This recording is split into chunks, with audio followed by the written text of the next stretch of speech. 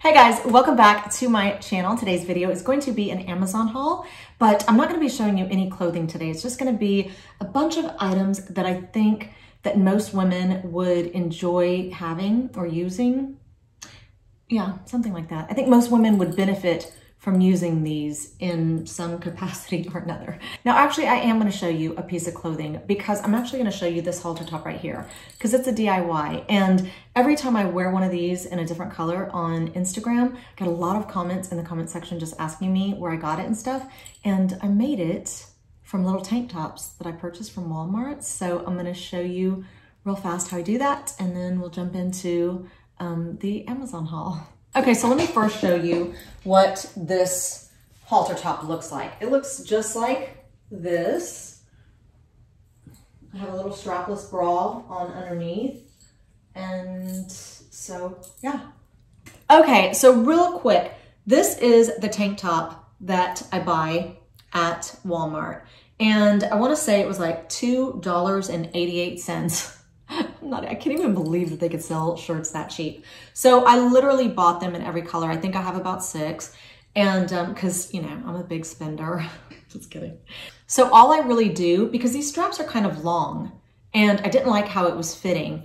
Um, so I take the straps right here and I cut them off the back. And when you cut it, um, it cuts below the back so it doesn't look, uh, let me just show you real fast. I'm just gonna cut this one. And all I'm gonna do, like I said, I'm gonna cut it right there at the base. I'm gonna put it on my lap real fast. Okay, so as you can see, I just cut the strap off and the top of the shirt actually comes up above it like this. So you cannot really tell at all. And um, so let me do the other one. Okay, so now I've cut both of them. And as you could tell, you know, you can tell where there was, you know, straps sewn there, but nobody's really gonna be looking, you know, that close at your back hopefully not. They would be awfully close to be to be able to notice something like that, right? So anyway, then it just looks like that. And then you just take it and, you know, you tie it however high or low, you know, you want this to be. I like it to be kind of high. That way it stays up, you know, in the back like that. And so, yeah, you're just going to have to wear, you know, a strapless bra underneath. And what's kind of neat about this is that, you know, I'm kind of surprised that these do not fray at all, even after you wash them. Like I have a really beautiful lavender one. Oh my gosh, it's so beautiful. And I actually cut the bottom off too. Like I cut maybe that much of the bottom off just so that I could tuck it, you know, a lot easier instead of, you know, having to tuck so much of it in.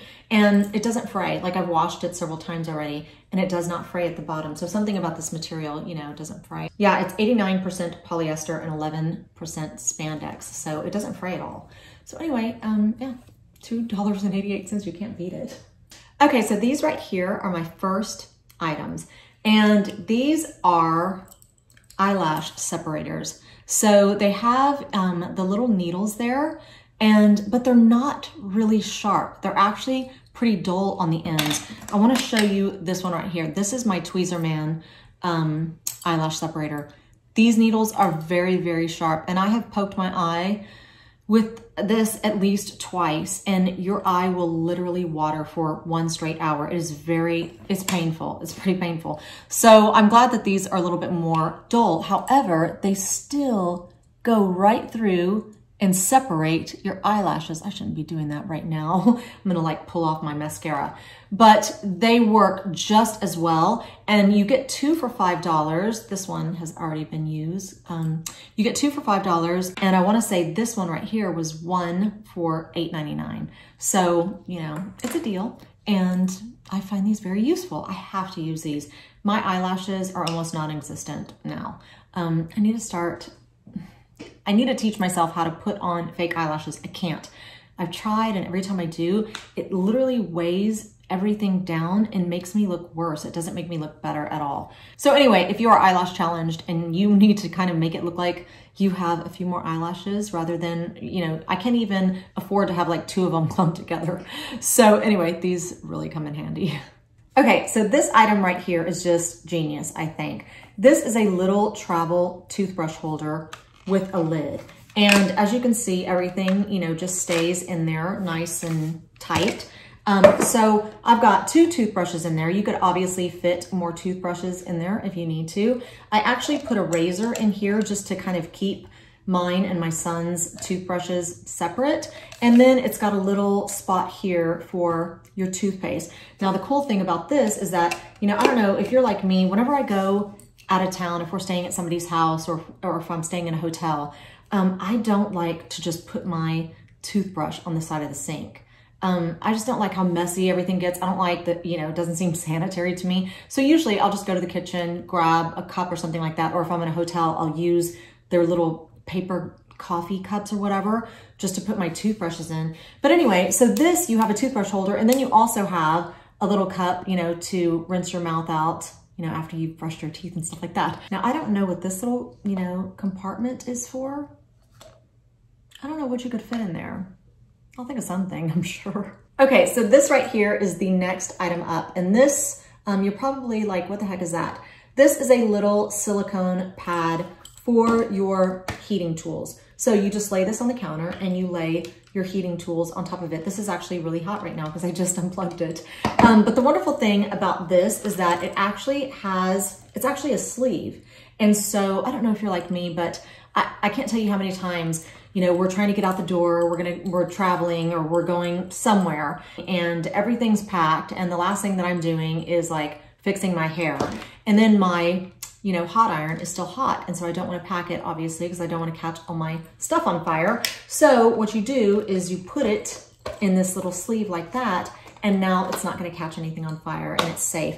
Now, another thing that I do is that whenever I'm using this at my house, um, after I unplug my hot iron, I will stick it in here and just leave it on the counter to cool because um, there's been several times where my poor son, he'll grab it to like move it or something and he might grab it in the wrong spot and he's like, ow, you know, um, I've even done that before. And so anyway, if it's in here, nobody's to get hurt. And so, you know, you're, you're saving your children from also, you know, burning their little fingers. Okay. So the next item up is this right here. And this is a foot file. I've actually had this for a couple years now.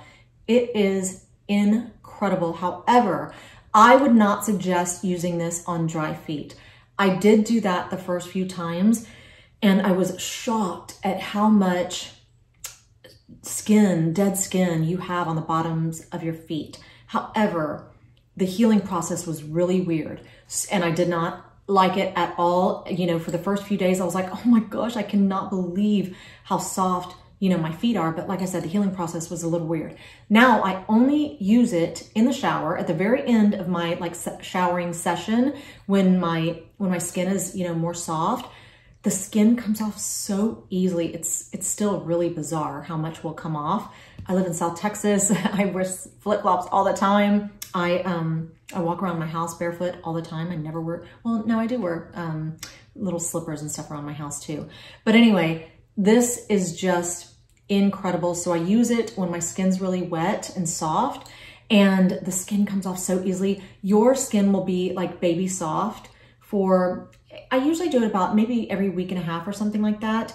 And it's just incredible. It is incredible. It has so many incredible reviews. And so, but like I said, I would not suggest doing it when your feet are dry because it's, at first I was like, I'm never gonna use it again. And I'm so glad that I tried it a different, you know, tried a different method because now I love it. I can't live without it. And uh, who doesn't want soft feet, you know? So yeah.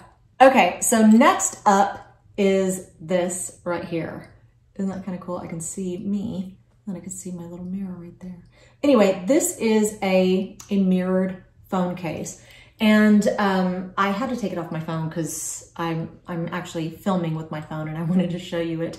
Uh, anyway, this is just such a cool case. I can't tell you how many times I've been like in a dressing room and I'm trying on jeans or skirts or whatever and I want to see behind me but I don't have a mirror or a compact or something like that in my purse. This will definitely come in handy because obviously it's a mirror and it also comes in handy, you know, just, you know, it's like having a compact for a phone case.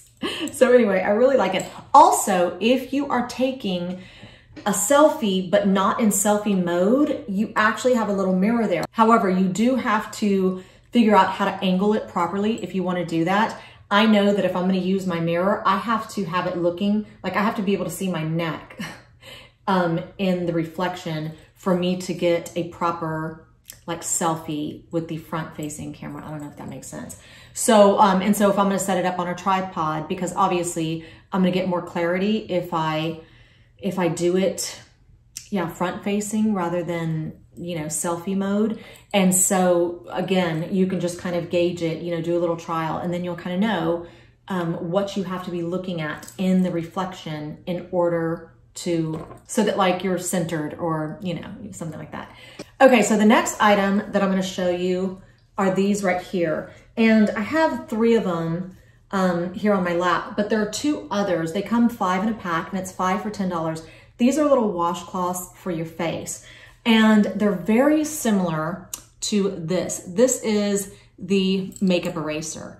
And I wanna say that this was 19 something and these are five for $10. So they're like $2 a piece, so you can't beat that. Anyway, I feel like they work equally as good as each other.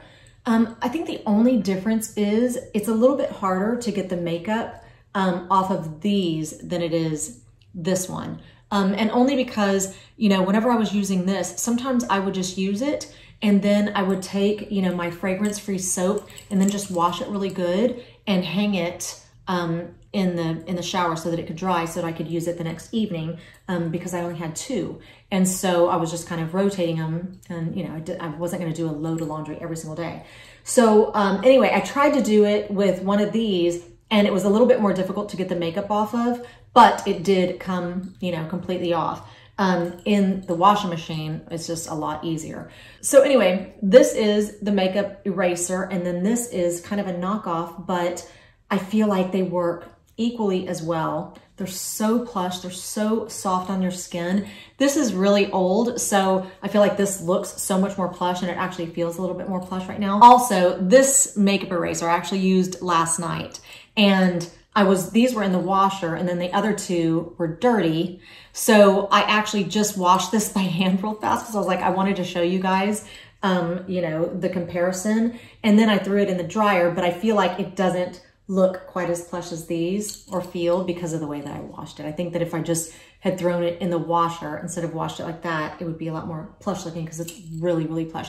Both of these, like I said, they just, I feel like they work equally as well. These you just get five for $10 and this is two for 20, so. Okay, so the next item or items up are these right here. And these are little silicone lids. Oops.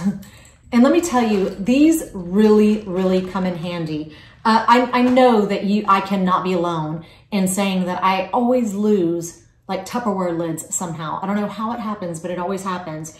Or I'll lose the bottoms and just be left with a bunch of lids. I don't know how that happens either. Anyway, um, every year we do this like family reunion and we do it at this ranch and resort and we're usually there for about five days. And we all, you know, obviously make meals in our in our rooms and stuff because it's got full kitchen, you know, dishes, everything. But they never have Tupperware. So after we've eaten, I, I'm always like, oh no, I don't know, you know, where am I going to put this or how am I going to cover it up or, you know, whatever. So anyway, I went out and purchased these and let me just show you. Now the only downside to them is that when you wash and dry them, sometimes they leave like little water spots on them and I really can't get them off, but you know, it's a small price to pay. Anyway, I have a bowl right here. So I'm just gonna show you, and I'm not gonna, I'm not gonna be able to show it to you like that, but I'll show it to you after I've covered it.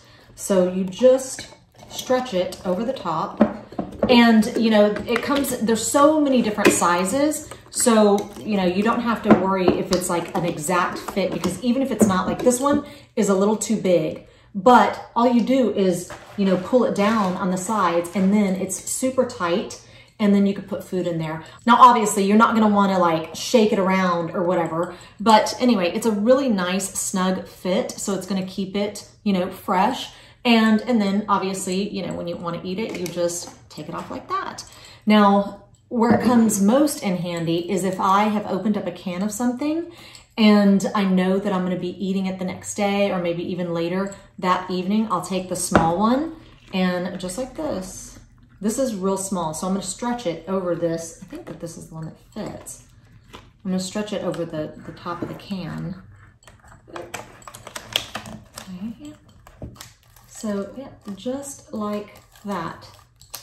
And so now you have a lid for your can and you can just put that in the refrigerator. Now I obviously don't like to leave things in the can in the refrigerator too long. I don't know why. Sometimes they start to like taste like a can or something, but I have definitely done this before. And if you have like wet dog food or wet cat food or something like that, then um, these little lids would also come in handy for those. But I just think that they're such a great idea, especially if you're traveling and you're staying at like a timeshare or something like that, you know. And they come in so many different sizes and colors and you know, there's one for everything. However, there's not a really, really giant one. I did have a bowl that I was trying to cover the other day and it was just a little bit too big. Okay, so see, can you see the spots? Um, that's just, those are just water spots, but you know, like I said, it's a small price to pay. Here's a, here's a really, really big one. So yeah. Okay, so the next item that I'm gonna show you is this right here. And this actually came as a suggestion from one of my subscribers. I don't remember who it was, but thank you so much because I went out and bought it. And it is a tinted um, SPF face cream and it's awesome. I'm gonna put some on the back of my hand. Now this is the medium. I do need to get a light because already now that summer's over and I don't plan on being in the sun any, you know, too much longer, um, I know that my tan is just gonna fade. And so I do definitely need to get a little bit of a lighter one. Also, I love using this on my face and my neck and my chest. And I actually put some on my arms, but, um, but I don't like using it under my eyes. I don't know why. I, I don't like the way that it makes um, my makeup look on top, you know, under my eyes. However, it almost works as a primer everywhere else, like on my on my forehead and the rest of my face. I feel like my makeup really sticks to it. And under my eyes, it really sticks to it too. I just don't like, I don't know if it's the, the texture or the consistency or something under my eyes. I just don't like the way that it looks. So, uh, but then again, I've also stopped using any type of liquid concealer under my eyes also. I only use a, and it's right here. I only use this right here, but I use it, this is the classic ivory, but I also have it in porcelain and I mix them together and that's what I use as concealer because when I use those two, and this is the Super Stay Full Coverage, um, Full Coverage Powder Foundation by Maybelline. It's so awesome. It's all I use. I don't use any regular liquid foundation anymore. I don't use liquid concealer. This is all I use. When I use this under my eyes, it is such full coverage, but it's not cakey at all. It doesn't settle in my lines. It doesn't make me look older underneath. It is so, I just love it. I love it. That's all I use under my eyes now. So anyway, I did try to put this under my eyes and it just made me feel like I was using a liquid concealer. I didn't like, I didn't like the way that it made my under eye area look. Everywhere else, I love it. I'm gonna show you. Um, like I said, this is the medium. Um, it looks a little messy right now, but this is the color. It's a little bit dark. I'll just put some on the back of my hand here. Let's see if we can, and it's just slightly tinted, you know? Um, yeah, you can tell. I think you can definitely tell. That's a little bit dark. Um, can you still see my veins? I think you can. I don't think I can hide those. They're so green. One time I put on this nail polish and it was like a tinted, it was almost like a, a greenish color. And my, my older sister was like, really brings out the green in your veins. I'm like, I am not wearing that. I'm not gonna wear this, this nail polish color if it's gonna bring out the green in my veins. So anyway, we laughed so hard about that. Anyway, like I said, this came as a suggestion from one of my subscribers. It's only like $12 or something like that. And I just love the consistency. I love the way that it looks on my skin and everything. I just need to get a little bit lighter of a color, so Okay, so the next item that I'm gonna show you is this right here. And this actually came as a suggestion from my daughter. She just kept seeing, I don't know, TikToks or something about it. And it's just a little water bottle, but it's a mist spray. And it is so awesome. I'm gonna show you. I don't wanna get everything wet. Okay, so watch this. Isn't that awesome? Did you see, you know, it's such a light mist and it's so even. So anyway, I just love this. Me and my daughter use it all the time. Anytime I need to like freshen up my hair and I don't want to wash my hair, but I need to get some, you know, kinks out because I slept on it weird. I'll use this and then I'll take it a little blow dryer and then just kind of like straighten it out or whatever. But I just love that it's such a really fine mist. And so, yeah, Works awesome. Okay, so this is the next item that um, I wanted to tell you guys about. This is a little steamer. And if you're like me and you hate ironing, then you're gonna love this. I don't know what it is about ironing. I will avoid it at all costs. I will avoid even buying clothes that have to be ironed. But, um, but I don't mind steaming stuff. I don't know why. Anyway, um, as you can see, the water in there is boiling. You probably hear it also. It took about two minutes for that to happen. I love it because it actually has a very long cord too. So it's not like you're, you know, you're gonna need an extension cord. Um, let me, you know what? I'm gonna go ahead and just insert a clip here of me steaming something so that you can see, you know, how it's done because I don't have something here for me to steam right now and I wanted to show you guys that. Okay, so here's my son's wrinkled shirt. These shirts he has to wear to school, they're just school uniform. Anyway, okay, here's the steamer. Now, first thing you wanna do is just fill it up to that line. It says max right there. You don't wanna go overboard because it might boil out. Um, and then before I get started, as you can see, there's some droplets right there on the nozzle. So before I get started, I always just kind of dry it off with a towel. Be very careful because you don't want to put your fingers near it. Okay, so then you just want to get started and um, I've noticed that when I press it up against the shirt, um, I usually get a few droplets on it, but I feel like it goes so much faster. I think you're supposed to keep it, you know, about an inch away from the fabric so that that does not happen. But um, of course, I don't ever follow the rules. So I just do it like this.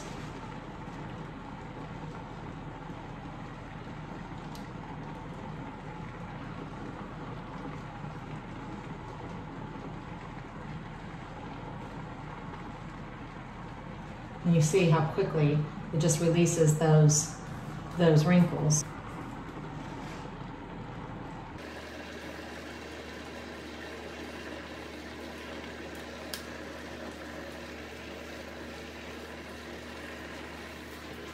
Just like that. So as you can see, it's nice and straight right there and it's still wrinkled over here and on the bottom, obviously. I don't know if you guys can hear this, but when it gets real close to the fabric, you can hear it sounds definitely different like this.